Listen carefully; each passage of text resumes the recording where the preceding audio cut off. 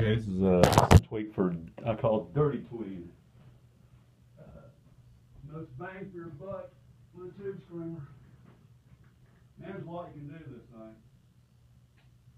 This is without a tube screamer on the uh, on just the normal uh, high input.